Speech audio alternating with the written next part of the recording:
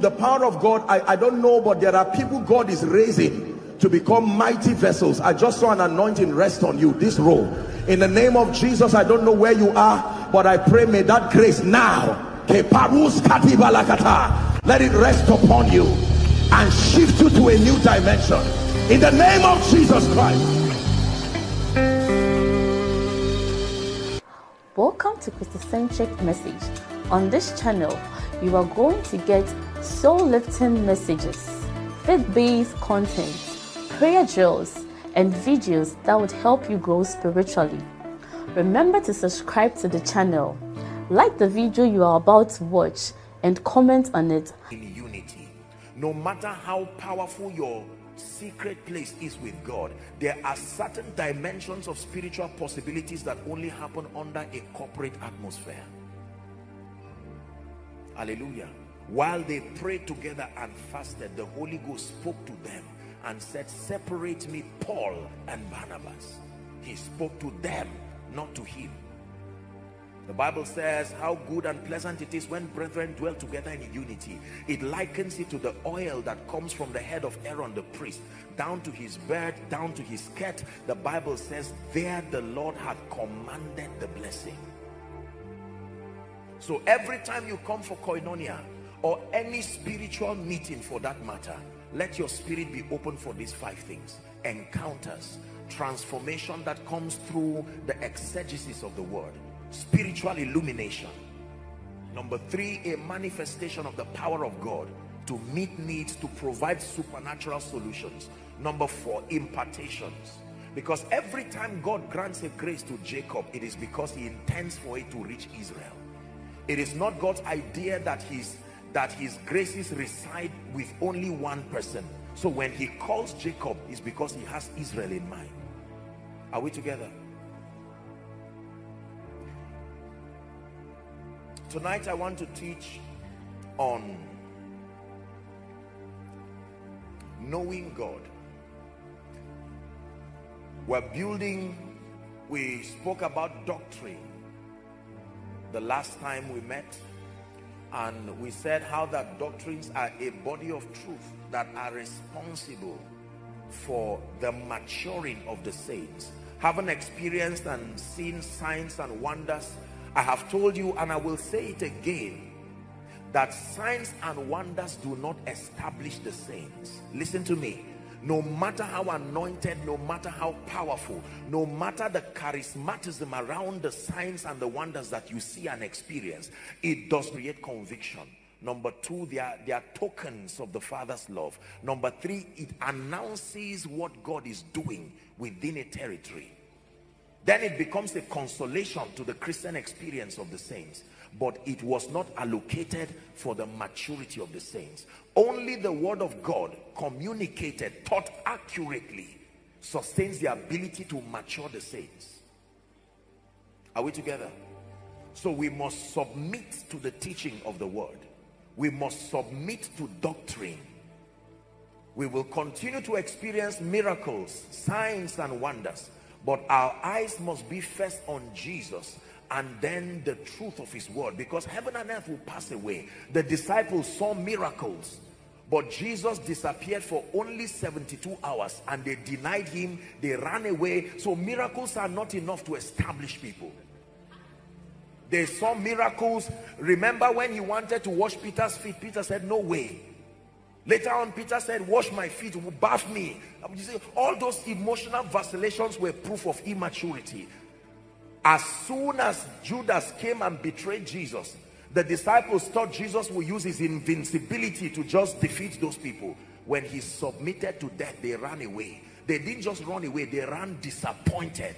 John 21, Peter said, I can't do 2-0. I go a fishing. The other disciples said, we go with you. Let's go back to what we were doing before this karma came to deceive us. They toiled all night and there was no catch. Then they saw Jesus. He needed their attention again. So he used the miracle. Little children, have you any catch? And Peter said, no. And he said, cast your net to the right side.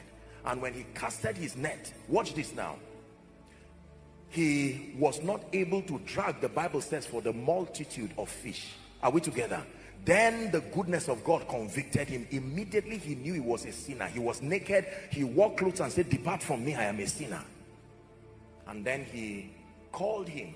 And when they sat down, it's amazing that when Peter came, he met Jesus already roasting fish. That's what your Bible said. Where he got it from is a mystery that he will have to tell us. It's in your Bible.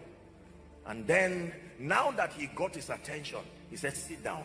Simon Barjona, lovest thou me more than these? You came because of the manifestation of the miraculous, but sit down. Because I'm going to give you an assignment to feed my sheep and also to feed my lamb.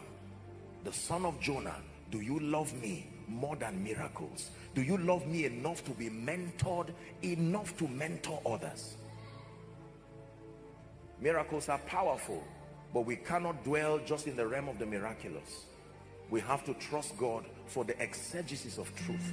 And tonight I want us to discuss very briefly the subject of knowing God. Look at me. Your confidence in this kingdom is predicated not just upon the reality of God, but your knowledge of the Holy. John 17, please. We'll read from verse 1 to 3. Let's go. John 17. This is Jesus. This is the real Lord's Prayer. Jesus is praying now theologically speaking what we call the Lord's Prayer yeah even though it's the Lord's Prayer but it was a lecture it was a mentorship session teaching the disciples the protocol of prayer that works. Are we together? This is Jesus praying now. The Bible says these words spake Jesus and lifted up his eyes to heaven and said Father the hour is come. Glorify thy son that thy son may glorify thee verse 2 it says as thou hast given him power over all flesh that he should give eternal life to as many as thou hast given him. What is eternal life? Verse 3 please read with me. Ready? One to read. And this is life eternal that they may know thee the only true God and Jesus whom thou hast sent. Watch this.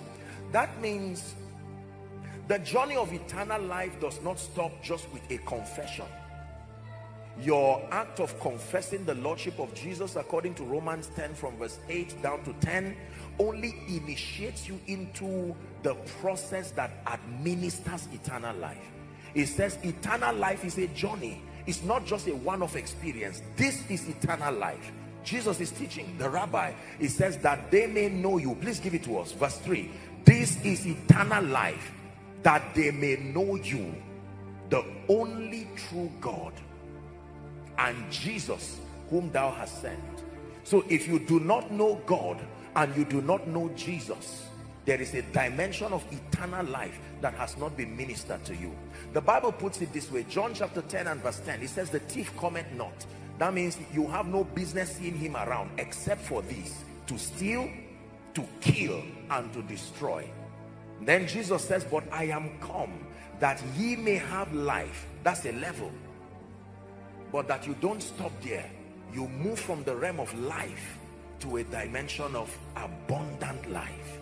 You can have life but you can have abundant life. Abundant life is based on knowledge the knowledge of the holy. Are we together? It is important that the saints know the lord. Many religions now respectfully speaking in fact most religions do not have a provision where you know the deity or the personality that is the object of worship and adoration.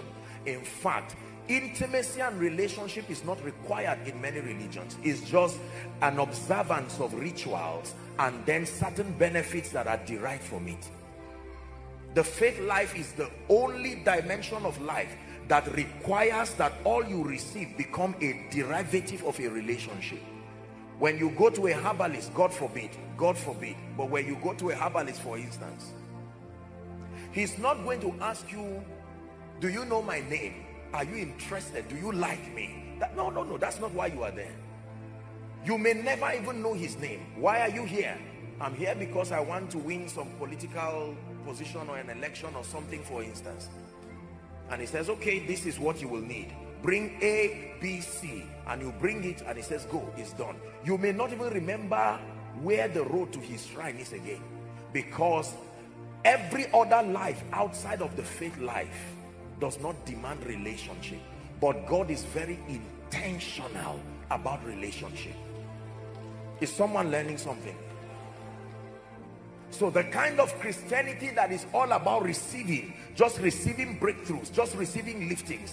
Now they are powerful, but you will never be able to enjoy the fullness of the life of God until you draw nigh to him to a level of a deeper relationship that is more than things, more than cars, more than houses, more than miracles, more than political positions, more than business breakthroughs. I don't downplay these things, but if that is the subject and the object of your pursuit, you will eventually be frustrated in your Christian experience.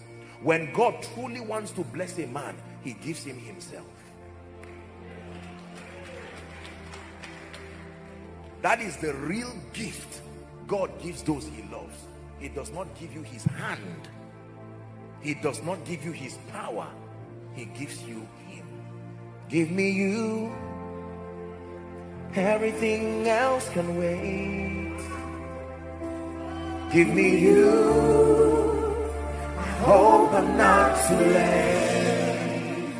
Lord, give me you. Lord, give me you. Lord, give me you. My prayer, Lord. Lord, give ah. me you. More than cars, more than reputation. Give me you. Everything else can wait. Give me you.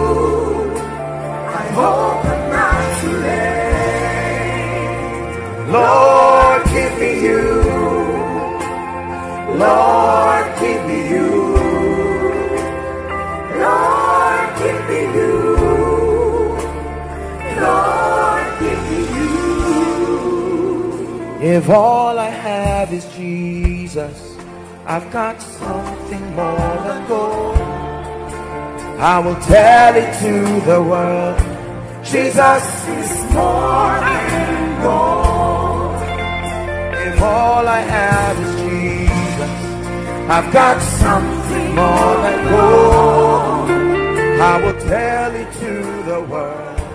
Jesus is more than gold. One more time. If all I have is Jesus, I've got something more than gold. I will tell it to the world.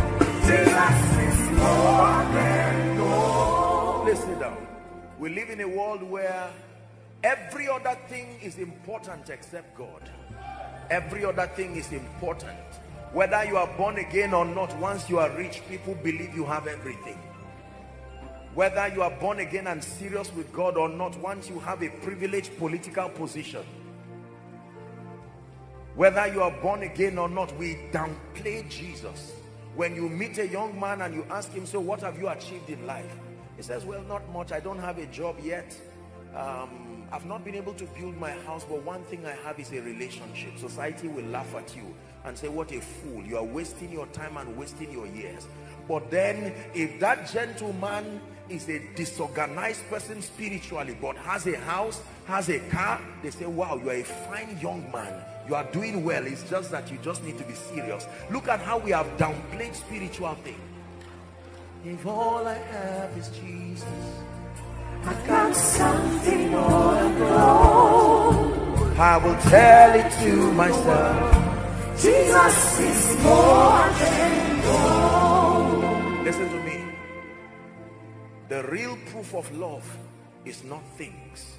The real proof of love is giving yourself. So when God gives you himself, he gave you everything. When you give him offering, you have not given him everything. When you give him tithe, you have not given him everything. If you truly love him, what you give is not what you have. What you give is you. My best, Lord, is everything I am. My best, Lord, I give all I have to you. Listen, years ago, I sat down one day and I was overwhelmed at the faithfulness of God in my life. I said, look what you've done to me. Look what you've made out of my life. And so this song came. You made me great. You made me special. You made me great. I give all I have to you. You made me great. You made me great. You made me special. You made me special. You made me great. I give all I have to you. My best, Lord, is everything I have.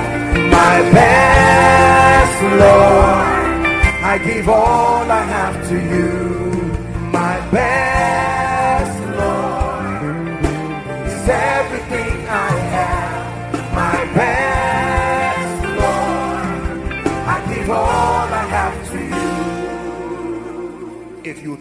Love him more than your money, more than a support for a man of God and a church, more than giving gifts, the real gift you can give the Lord in honor and in gratitude for giving himself is to give yourself. This is why this ministry is called Koinonia. It's a platform of passionate lovers of God.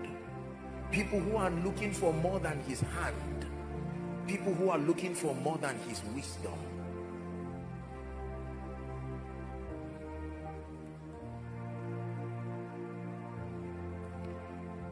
You know, if I don't get to the word, I can stay here because what I'm giving you is a piece of my secret place. Sincerely, let me tell you, when I spend time with God, I hardly ask him for things. And this is not because of the faithfulness of God over my life. No, my concern is him. Can you really have God and lack anything?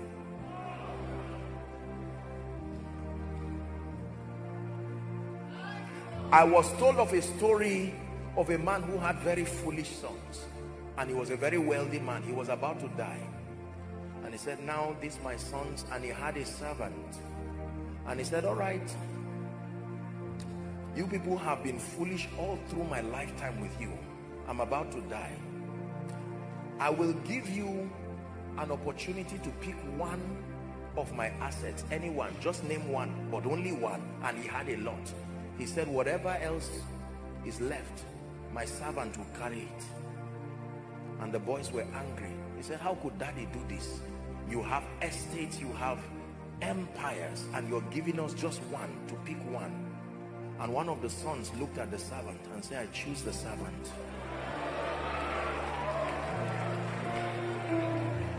for the first time the father saw wisdom before going to his grave if i have to choose one and the rest is given to the servant let that one I choose be the servant.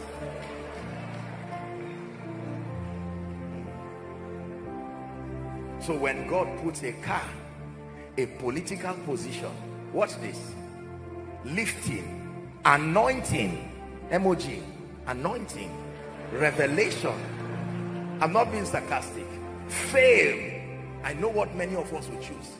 People have rejected me. I need fame. You quickly pick fame and then he puts himself and he watches as many Christians come to pick other things. The sun will no more give you sunlight by day. The moon will no more give you moonlight by night.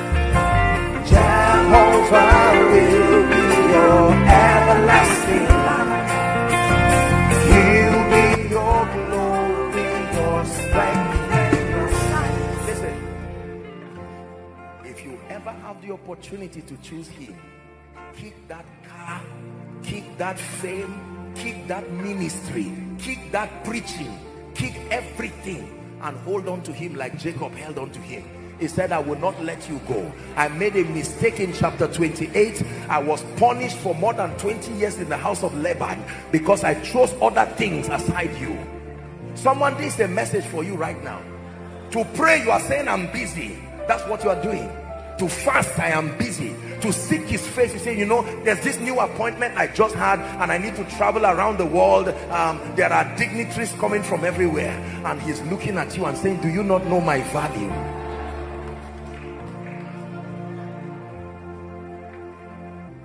I'm not wasting your time believe me.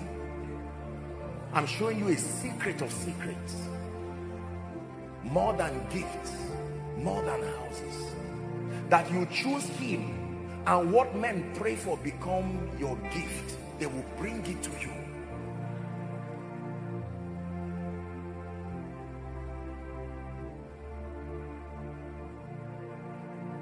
I made up my mind that he will become the object of my pursuit, not ministry. No. I will give up Koinonia and close down Koinonia in Abuja 1,000 times to preserve my relationship with him. I will cancel any ministration without thinking twice if it ever interrupts his presence. You love me today because what of what he has made out of my life. I will be foolish to leave him. Do you leave what works? Ah, God is speaking to someone. You need to return back this is not what i even want to talk about oh but God is speaking to someone. The reason why things have not moved in your life is because you focused on many things. You have been taught by society that Jesus Christ is a nuisance and that the secret place does not carry destiny value. So every time you stay with God, you feel cheated while the rest go ahead of you. You feel cheated. You feel foolish for giving God your time and your attention. My life is a testament of what can happen to a man when you give God time. God is speaking to someone. I believe that this is by the Spirit. I've not even begun to talk about, if this is where we stop, that's it. God is calling on people, return to the secret place. Return to the place where I made you. I found you as nothing and I helped you. Now you are allowing distraction distraction.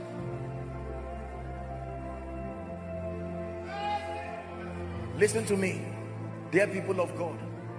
We live in a celebrity world where everyone wants to be a celebrity. And don't get me wrong God wants to lift you. You know when you watch people coming you just admire them and you hope to be like them and some of you can't wait for the service to finish so that you say give me a double portion and all these things that people do. Listen to me. Sit down and take God seriously.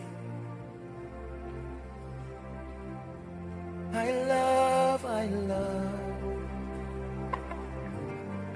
I love your presence. I love I love. Oh. I love your presence I love, I love. I love you, Jesus. I love, I love. I love your presence.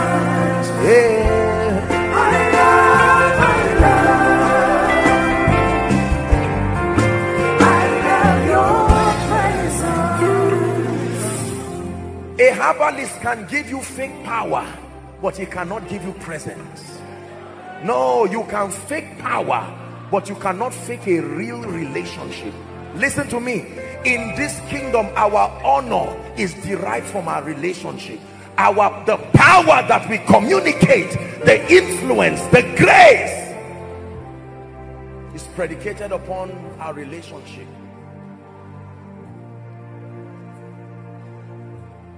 wouldn't trade you. Don't sing. Listen to what i'm singing. I wouldn't trade you for riches untold and i really mean it. You are truly you are my everything everything everything. Lord, everything to me, everything, everything. Lord, you are everything to me. You're my treasure, my priority. Who can compare to you? Truly great is the measure of your royalty. Oh, morning star, you truly are.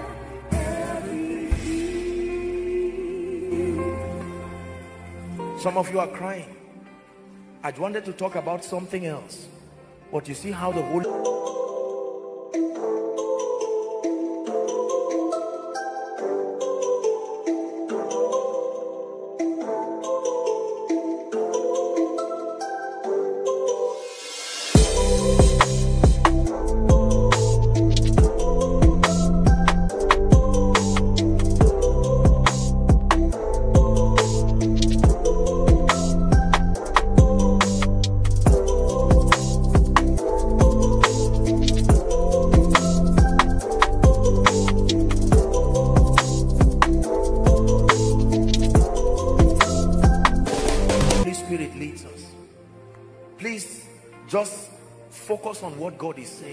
I'm coming back to the heart of worship where it's all about you. It's all about you, Jesus. I'm sorry, Lord, for the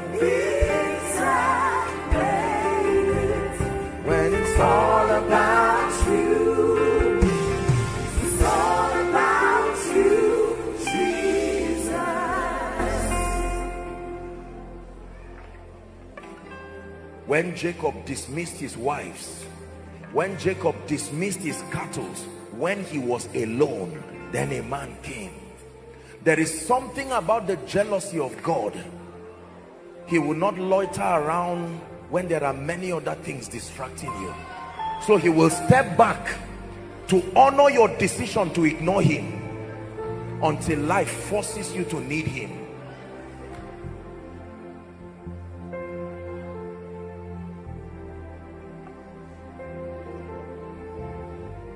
God is speaking to you. You may be a man of God. I want crowd. I want people to call my name. I want everyone to listen to my teachings. You may be sincere, but while you are doing all that drama, heaven is watching you. And God is saying, is this all that you want? Is this all that I mean to you? To be a celebrity? Oh no. Oh no. Oh no. Oh no.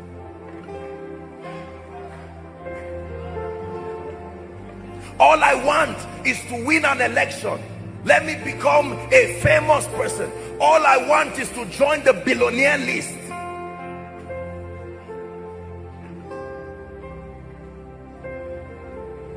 There is something about a heart that pants after God. Komina nakane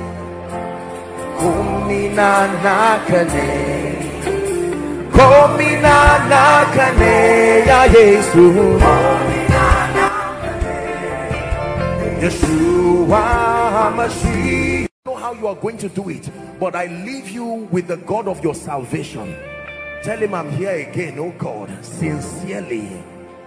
Finally finally I hear you. I hear your call I hear your call Yeshua Mashiach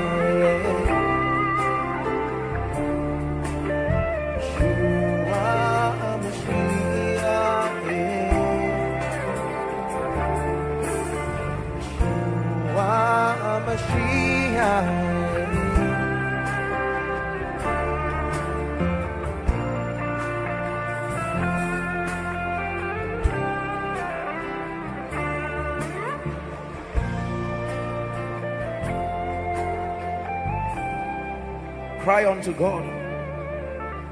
Hear me I'm not wasting your time. This is church. We're not faking it here. Sincerely from our hearts.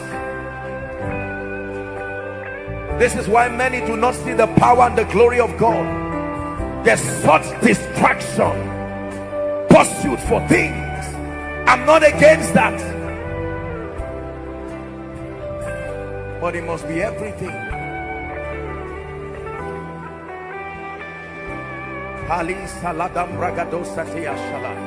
Talk to the Lord.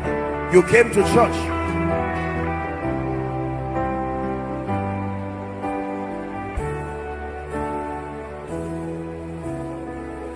You have my everything.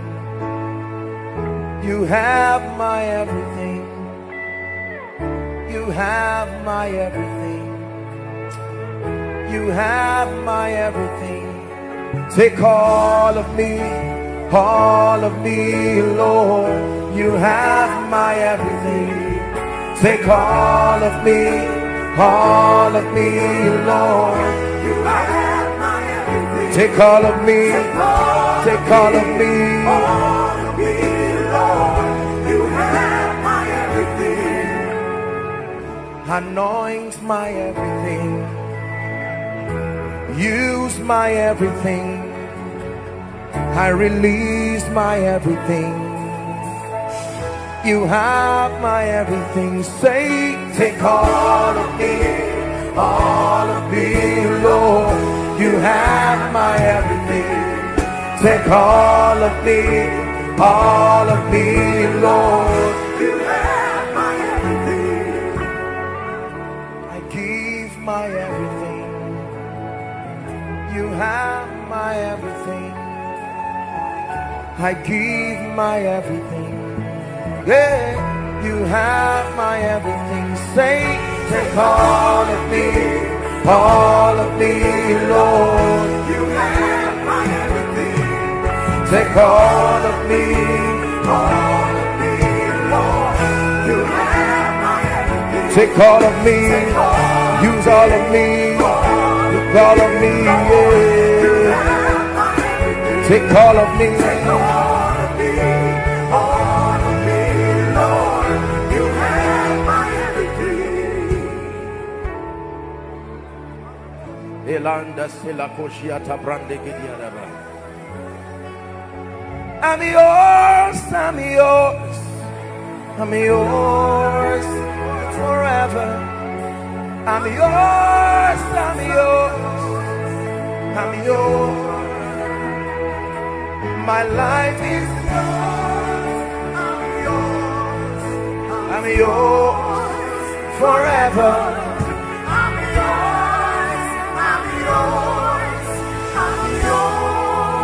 There's a part of the song that I love. Listen, it says, Whatever you ask of me, I surrender.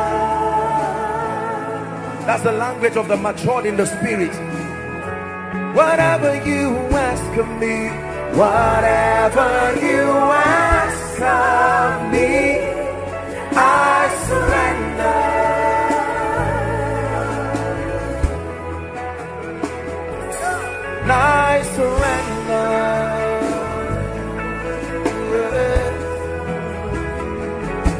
I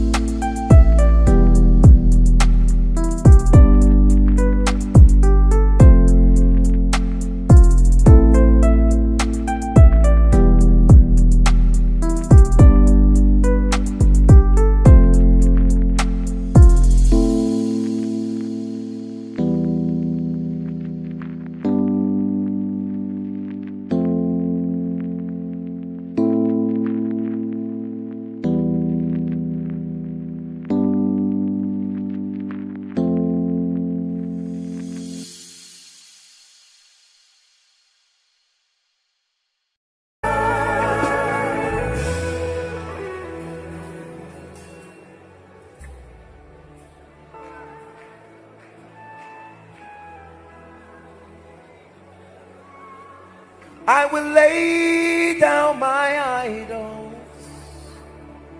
and thrones I have made, and all that has taken my heart. Lord, I will bow to you, to no other God but you.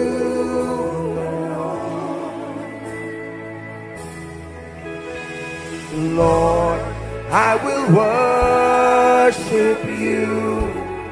Nothing hands have made but you. The Bible says if you turn aside in the day of battle, the diagnosis is that your strength is small. God, you did not prosper me, I will leave you. Is a sign that you do not know him. Lord, I've been a worker in church for a long time and you have refused to bless me. I will leave you. That is a transaction. In as much as he has covenanted to bless you, when you truly know God is a point of no return. It's like an initiation into something that you cannot come out of. Capacity. They shall be strong. Number two is a promise. They shall do exploits not talk exploits, not wish exploits. That anyone who pays the price to know God, it is guaranteed that you will do exploits in ministry, in business, in life, and in destiny. I submit to you, therefore, that the reason why we have so many well-meaning believers but there are no notable dimensions of the possibilities of God captured within our territory. Is because very few people have paid the price to know him. It's costly to know God. The price for all of God is all of you. It's costly. The price for life is death.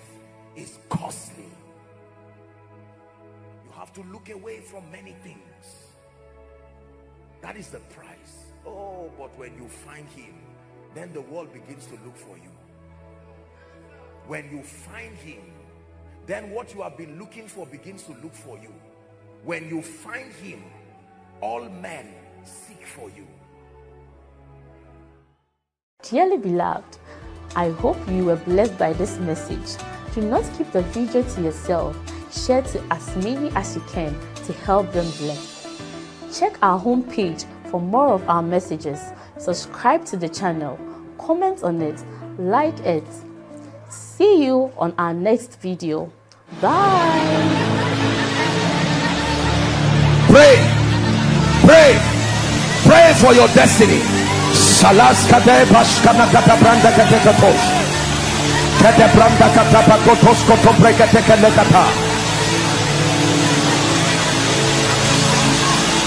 the phase of development. Lord grant me the discipline